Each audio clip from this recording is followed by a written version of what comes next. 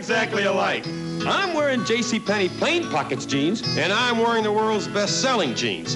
My jeans are made of tough, heavy denim with good looks and great styling. And mine have this fancy stitching on the back pocket. But plain pockets only cost you $12. J.C. Penney plain pockets. The big difference between us and them is the pocket and the price. I'll buy lunch.